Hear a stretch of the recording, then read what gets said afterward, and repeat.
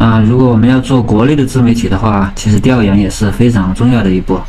那除了我们在这个抖音呐，啊啊视频号里面搜索以外，其实可以通过这个啊字节跳动推出的这个工具啊，我们可以去做一个调研。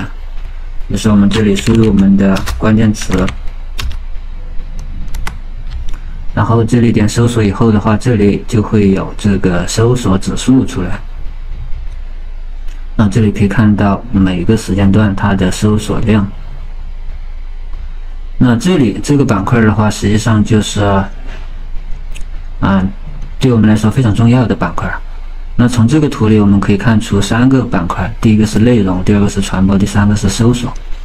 那内容的话，大家可以看到这里的话，它的分数比较小。说明其实这个关键词下面，啊，做内容的人其实是相对偏少的。那么这个传播分的话，它就代表着，啊，它的传播其实是比较大的。然后这个搜索啊也是比较 OK 的。那这个图就给我们一个什么样的信息呢？啊，就是这个谷歌广告这个关键词的内容是偏少的，而且搜索啊是偏多的，然后传播的几率其实是比较大的。所以就告诉我们这样一个道理，就是，那我们可以围绕着这个谷歌广告做大量的内容啊，这个时候的话，啊，我们可能有大量的传播和获得大量的搜索。然后我们点这个关联分析的话，啊，就可以看到啊这些相关的词，那我们可以通过我们的主关键词啊，再结合这些小红点儿或者小绿点儿啊一起。对，结合起来做内容。那这个红红色的小哦小点的话，就代表着这个搜索趋势它是在增加的，然后绿色的是在下降的。所以这里的话，我们就可以怎么做呢？啊，比如说谷歌广告关键词啊，这个指数它是在上升的，那我们可以多做一些。然后这个落地页啊，它也是在上升的，啊，我们也可以去也做一些。啊，这个广告主啊，也是可以做一做，然后带头啊，数据分析的方法呀，这些啊，只要是你看到红色的这些东西，我们都可以拿来做一做。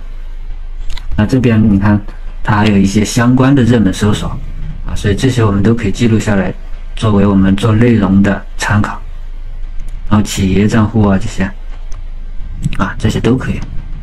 然后这里的话还有个内容关联词。啊，同样的道理，它就是一个上升，一个下降。然后这边的话，你看这个大红色的广告素材，那我们就可以这样做呀。啊，谷歌广告广告素材如何优化呀？啊，这谷歌广告广告投放如何落地啊？这些都是可以的。所以你根本就不会缺少素材啊。我们就通过这个 内部的工具啊啊，这个巨量算术这个工具，就可以找到很多主题了。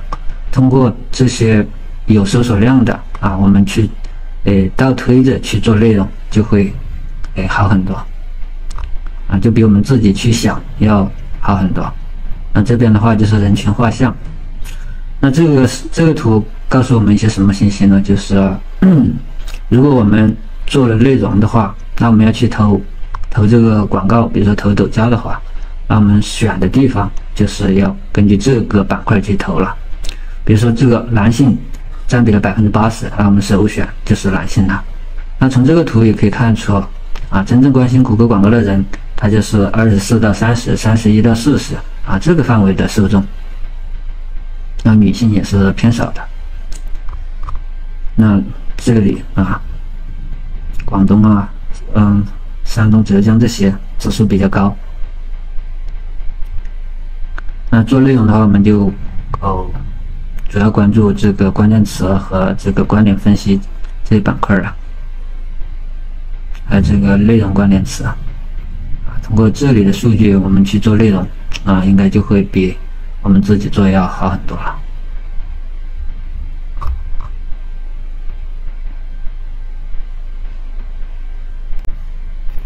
也可以直接把这些考考下来。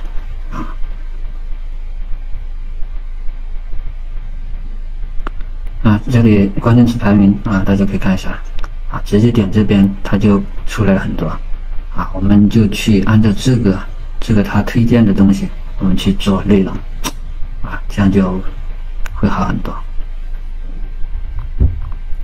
好吧，现在嗯，这个关于怎么去调研我们的内容啊，就先到这里吧。